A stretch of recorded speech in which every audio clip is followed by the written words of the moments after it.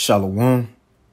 First and foremost, I want to give all praises, honor, and glory unto Yahweh, Bahashem, Yahweh Shai, Bahashem Chakwadash, double honors to the apostles and elders of Great Millstone, and peace and blessings to all you Akim out there, pushing his word with all truth and sincerity, and to all you believers out there as well who believe it on the gospel. And it's the brother Quara Abad from the GMS Houston camp. Now I want to go into another lesson, man. Um, you know, Lord willing to be edifying. But what I want to speak on in this lesson is that um we know coming into the into the truth is um an abundance, you know, of uh of uh uh knowledge, you know, understanding, you know, that uh we can receive, man. You know, uh mysteries, you see, uh different things being revealed to you, you know, maybe uh you might understand the Hebrew more.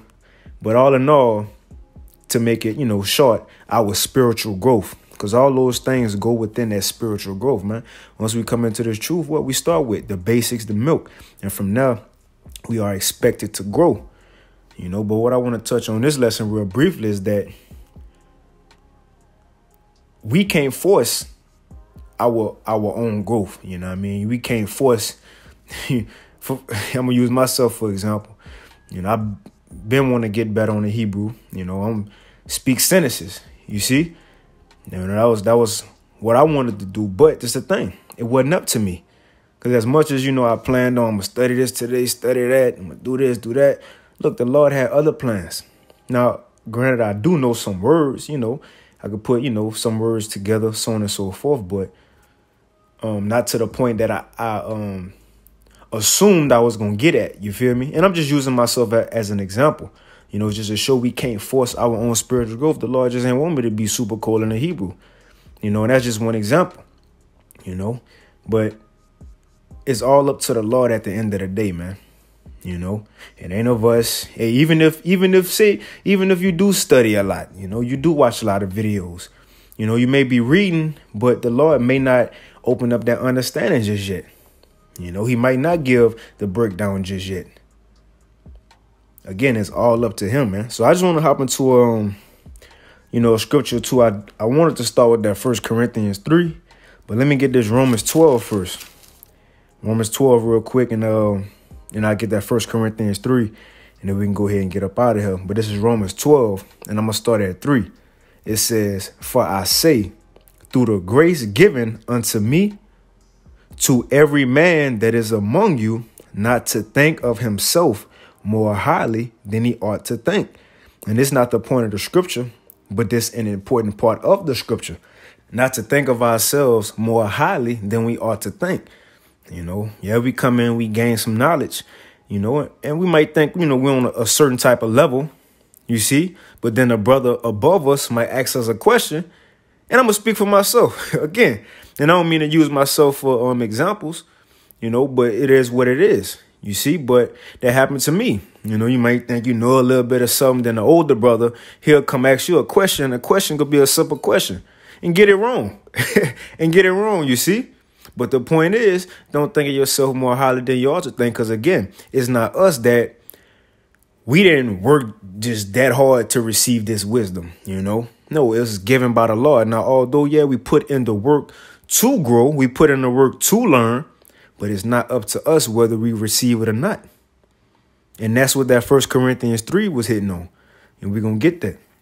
But let me finish this. It says, for uh, this Romans 12 and 3, it says, For I say, through the grace given unto me, to every man that is among you, not to think of himself more highly than he ought to think. Right, hey, let me get a quick precept through the Spirit, because who the Lord said he gave um his secrets unto. Let's get that real quick. This Sirach 3 and 17, it says, My son, go on with thy business in meekness. So shall thou be, so shall thou be beloved of him that is approved. It says, The greater thou art, the more humble thyself, and thou shalt find favor before the Lord. Check this out. It says, Many are in high place and of renown, but mysteries are revealed unto the meek. Who it says, For the power of Yahweh is great, and he is honored of the lowly, man. You see, that's who the Lord gonna give his his mysteries to, his understanding to, not to the ones who just think they know everything. You know, cause look, we could all be taught some extra, all be corrected on some, all. Um, and look, this is the thing: we might have gotten an understanding, we might could break down certain things, but you might have another brother who can expound on it even more, man. You know. And another thing too, let me go back to that Romans twelve because another thing too, what it's about to go into, how the Lord gave each and every one of us our own portion of understanding, our own portion of faith. You know, we can't just say, damn, that brother know precepts and history. I'm about to try to be like that brother. No, the Lord gave you your own portion. Take what you got and shit, work with that. you know, go all, go all, go hard with that, man. You know, because look, another brother might be looking at you like, man, that brother got a, a fire spirit on him. But you might not be thinking, mm, I want to be, I want another brother talent. No, man, take your talent and run with it. But let's get it. Romans 12 and 3, it says, For I say, through the grace given unto me, to every man that is among you, not to think of himself more highly than he ought to think, but to think soberly, that's the point, according as the Most High have dealt to every man the measure of faith. Each and every one of us have our own portion, and we can't force extra, extra um uh, understanding upon ourselves. We can't make ourselves more wiser because we want to know more. You know, we can't make ourselves more eloquent in speech. The Lord said He control the mouth. You know, now again, yeah, we can put in the work to study, learn, but still, let's get that in First Corinthians. But still, it's all up to the Lord, and it's gonna hit on and prove that we can't force it. You know, we can't force it, man. That's why we look, whatever lot we got, whatever understanding we have, run with it. You see? But um, let's get this. This First Corinthians 3. And I'm gonna start at hmm, let me see. First Corinthians 3, and I'm gonna start at 2. It says, I have fed you. This Apostle Paul speaking. He said, I have fed you with milk, the basics, right? And not with meat. And meat is the more deeper understanding. It says, um, For hitherto you were not able to bear it, neither yet now are ye able. It said, and that's that's again, because even in this truth, we may think, oh, you know, you know, we can get deep understanding, but it's some things that we can't. I know it's something that I hear the older brothers talking about, you know, in our account, and I don't, I don't, you know, ask into ask about it or, or you know, you know, try to jump in because some things it ain't for me to understand at the time. Even with the apostles speak, you know, they might bring some up, but it ain't for certain people to understand at certain times, man. You know, just like you going what, what that is, Revelation ten, what was uh, what was told to John, the uh, Revelator, as they call him, and um whatever he heard, the angel who was in the chariot said, Look, nah, don't write that. Conceal that. You see? So only John knew what, what was told, what was heard. Same thing with Esdras. Esdras wrote, um, I believe, 70 some books. He said, uh, in a certain portion of them, the Lord told him, Give those to the unwise and the wise, but the other ones only give to the wise. Because it ain't profitable for everybody, man. You know? But um, let's continue. It says, For ye are yet carnal for whereas there is among you envying and strife and divisions, are ye not carnal and walk as men? For while one saith, I am of Paul, and another, I am of Apollo, are ye not carnal? Carnal? So you had some in the church of Corinth saying, shit, Paul taught me. Paul taught me. You know, shit, Apollo taught me. Well, shit, Peter taught me. He the head of the church. you see? But this the thing. It says, who then is Paul? And who is Apollo? But ministers by whom ye believed, even as the Lord gave to every man. It's the point. I have planted, Apollo watered, but the Most High gave the increase. So Apostle Paul said, look, I planted, I planted that seed. I told you y'all was Israelites. You know, I, I you know, told you you know, the law, statutes, whatever. I told you the basics. But he said, Apollo, he watered. He kept teaching you. He kept expounding unto you in the scriptures. You know, but at the end of the day, he says, although he planted and Apollo kept building y'all up, it says, what it says, uh, I have planted and Apollo water, but the Most High gave the increase, man. The Most High gave the increase. So again, we can't force our own understanding. We can't force, you know, our own growth. Man, it's up to the Most High who give that increase. You see? But um, but uh, let's continue. It says, so so then neither is he that planted anything, neither he that watereth, but the Most High that giveth the increase. Man, even going into teaching. You know, going into those, uh, which Hawashai said he delivered unto his servants his good. He chose who he gave 10 talents to. He chose who he gave five talents to. He chose who he gave one talent to. It wasn't up to them. The one who had the one talent couldn't say, Lord, give me three more. the one who had 10 talents could say, Lord, I don't, I don't know. Because the scriptures say, whom much is given, much is required. I don't know if I could take all this. Give me, drop my talents and give me four. No, it ain't up to you. The Lord set a certain spirit on each and every one of us, man.